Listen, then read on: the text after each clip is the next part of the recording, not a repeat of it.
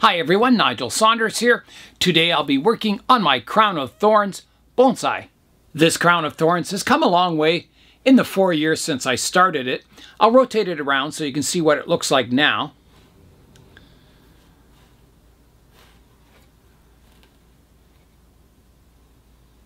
It's been flowering almost all summer. It's just an amazing plant. Some of the older leaves are now turning yellow and are about to fall off. Let's go back in time now and we'll go see what this plant looked like when I got it and some of the steps I took to get it to this stage in life.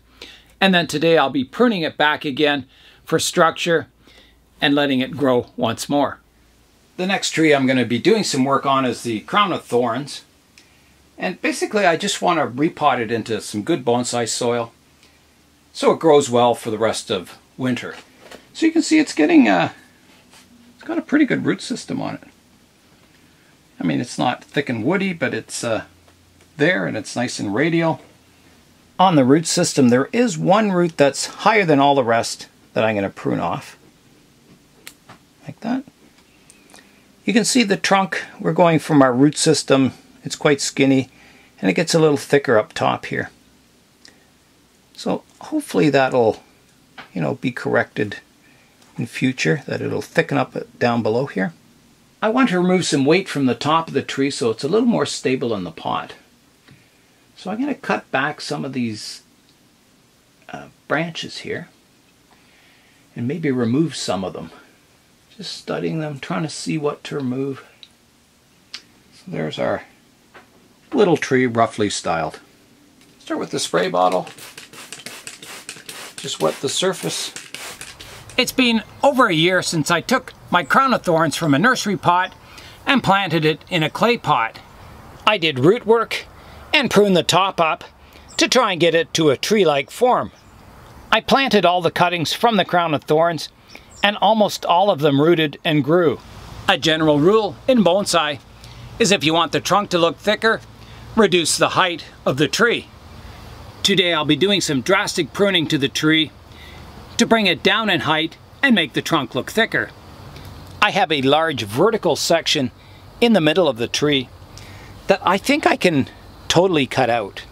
So I'll come in here and I'm going to try and reach in here without hurting myself. Now the sap on this tree is very, it's a latex sap and it can be uh, poisonous. So Try not to ingest it. So I'm going to cut right here. I try and get in a little deeper. There. So there's removing the top of the tree. I'll also prune this side branch back.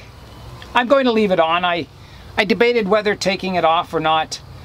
And I think the tree would look a little boring, just one trunk, so I'm going to leave this on, but I'll cut it back to here. I will, uh, I'll try and root them. Uh, maybe someone will want them. We'll see. No complaints about the rate of growth. I mean, it's been a wonderful little bonsai. It's flowered lots. It looks nice. Um, and it'll just get better and better as it gets older. That's the exciting thing about a lot of succulent trees is that they just start getting a nice character to the bark as they get older finer and finer branching. So I think you can see the radial root base now. It's looking good. Just removing some of these roots that are growing too high. But I'm thinking this pot might look better. It's more of a desert sand color. And I think these are fast growers, so I think in two years this tree will be quite large. So I think the larger pot will probably suit it for the future.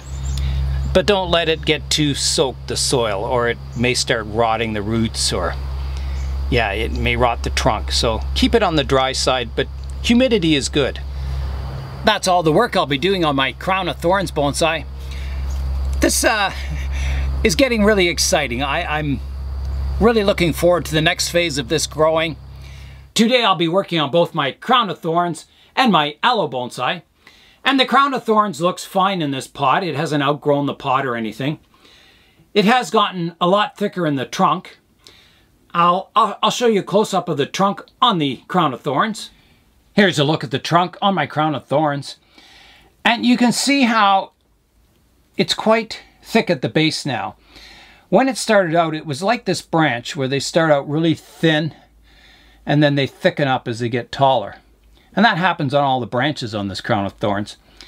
But as the trunk gets older, it starts thickening up at the base and that inverse taper starts turning to positive taper. So it's looking really good. And the growth rate of this crown of thorns really surprised me, as did it flowering all summer long. I didn't expect that. So because it's grown so fast in just a couple of years, I'm thinking of uh, revising the styling on it or changing my mind on the styling. At first I was going to keep it quite a small little tree, but I'm thinking at this growth rate and the amount of ramification I'm getting, I think I can turn this into quite a large bonsai. Changing my crown of thorns bonsai from a smaller bonsai to a larger bonsai will mean some styling changes. Right now I have some branches coming off almost at the soil level, coming off the trunk, and changing into a larger bonsai, I want to expose more of the trunk on the tree and keep the crown a little higher. So that's got my major pruning done. It needs a lot of cleanup, so I'll go in and get all these dead leaves out and then I'll uh, work on the branching, seeing what I need to remove. I want to keep the lower branches kind of flowing more horizontal. There's another upper one here I can remove, shooting straight up. There's a look at the structure of the tree now. I think it's looking quite good. Nice and compact, that'll grow in really nice. I will just prune, there's a stub here that I'll prune back to these spreading branches like that. That cleans that up quite nicely. So far it hasn't caused any bulging problems in this area, so I'll keep my eyes on it. And if it if it does start to become a problem with, you know, a bulge where all these branches join, then I can remove some of them. If it's not going to be a problem, then styling-wise, I think it looks fine the way it is. I'm going to start the work today by getting rid of all the yellow leaves, cleaning the plant up, and that will allow me more visibility into the structure for pruning. It's quite natural as the leaves get older and as the plant grows, they turn yellow and eventually fall off. So the plant is very healthy. You can see the new foliage is a nice dark green color. I've got my tweezers so I can get into the interior of the tree without pricking my finger on all these thorns. The branches are quite flexible, so if you just grab a leaf, you can kind of pull it down and clear out all the leaves from the interior of the tree, and there was a lot in here. These crown of thorns are really easy to care for. They're succulents, so you don't have to water them a whole lot. They can tolerate dryness. I'm very happy with them. And I think this one, you know, in four years it's developed a lot. I'm Imagining it four years from now, what it'll look like. It'll be even nicer, I hope. I've got the interior of the tree all cleaned out, and I can't believe how many dead leaves and dead flowers there were all stuck up in the branches here. It's quite easy now to see the interior of the tree. Just have to move the branches out of the way and you can see it's all nice and clean so I can see the branch structure in there for pruning. I've got the tree all cleaned up now and it's looking really nice. I, I beautiful looking plant. So the hard part now is I, I've got to prune it back and that's because the branches are just growing really, really long without any more subdividing. So my aim is to grow this tree even larger. So I'm going to prune all these branches back, getting, uh, you know, more branch division. So they're not just long, skinny branches. They subdivide into more finer branching and to get it to look more tree-like in the end. Before I begin the pruning, I have to imagine what style I want the tree in to be in its, you know, kind of final form. And right now it's got, you know, a trunk and then it comes up right into more and more branching, sort of like you would see on a deciduous tree.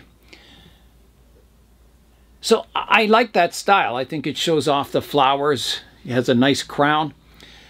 The problem with this tree right now is that the trunk is very skinny compared to the width of the canopy. So once I prune it back, I think it'll be in proportion more. It'll look more like a grand old tree rather than a, a very young tree you would see, you know, in nature.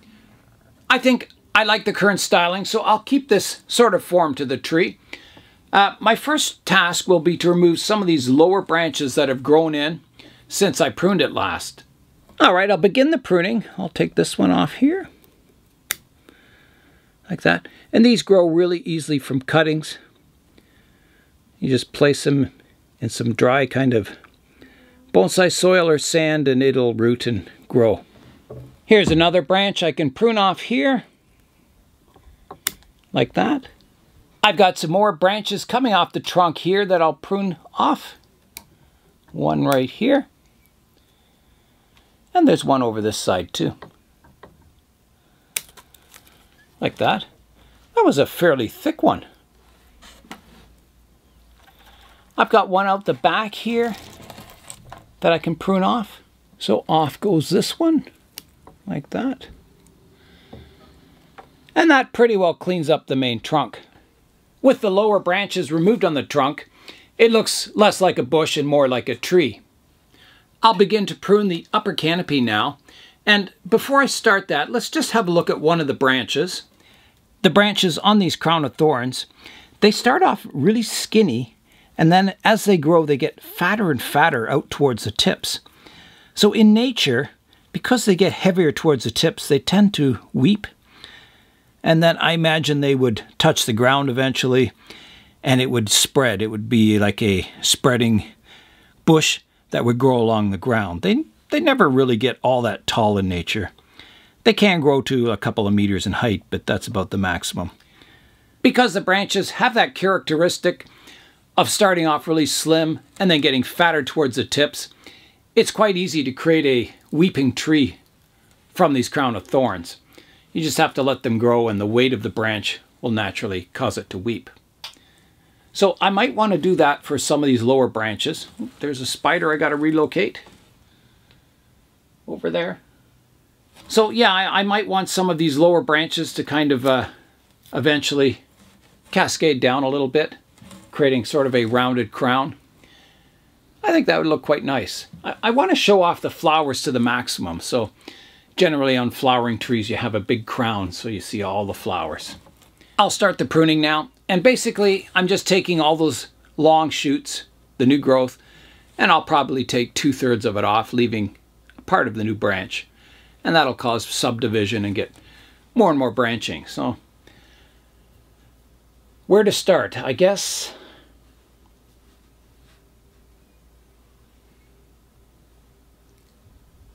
I can start anywhere. so I've got a new shoot here.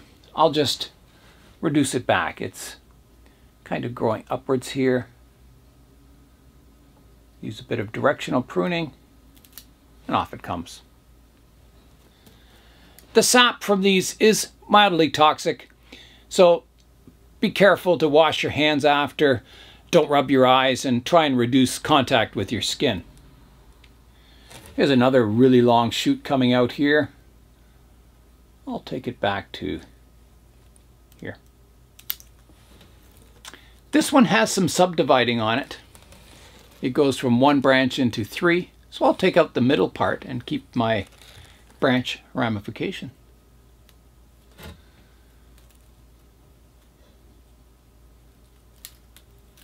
Like that. So now you can see this branch comes up and it divides into two. Here's a close-up of that branch I just pruned so it comes up, divides from one into two, and I took out the big thick middle part.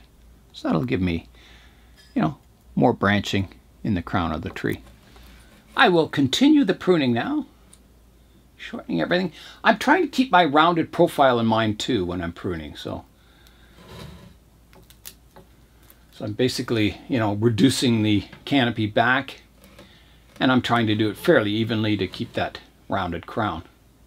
There are some branches growing up that I can see I'll need to prune them right off.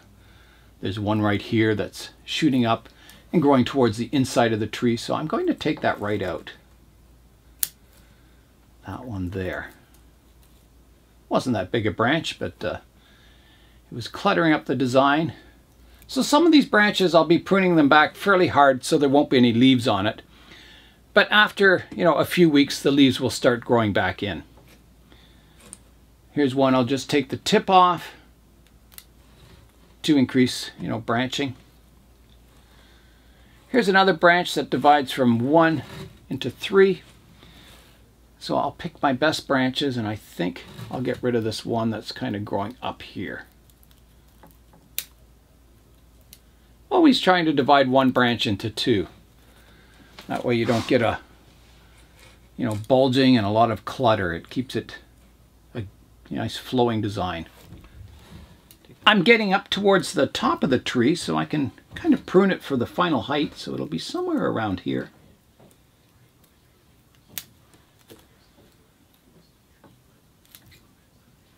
And again, once I've finished all this pruning, I'll come in and refine it. I'll step back and take a look at it all. Sometimes I'm not able to keep all my branch ramification that's grown in. I have to kind of hard prune it back a little further. Again, I've got two new shoots here growing up at the base of a major branch here. I'll take those out. They're just making it too complex, the uh, basic structure of the tree. And like I said, I want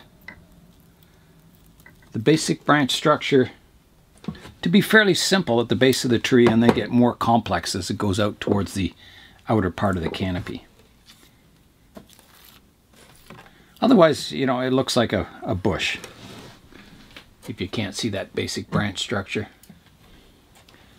I think it's starting to look a lot more tree-like now, so I'm not done yet, but I'm uh, getting closer.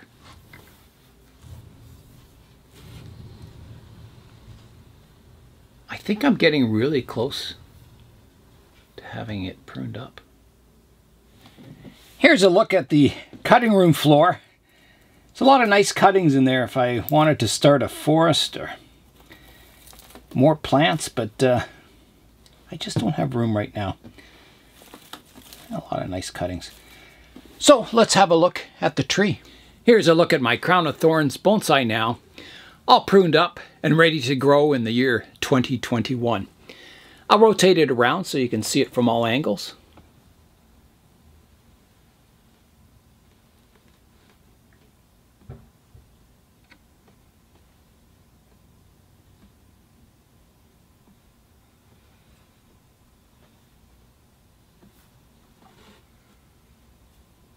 and back to the front. So I'll continue working on the tree in the future, you know, trying to perfect this basic branch structure and make it better and better each year. But I'm really happy with the progress so far.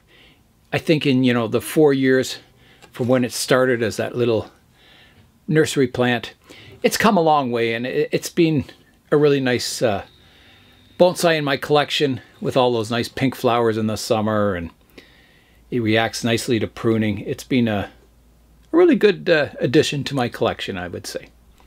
I'll give you a top view of the tree too, so you can see what the branch structure looks like from above.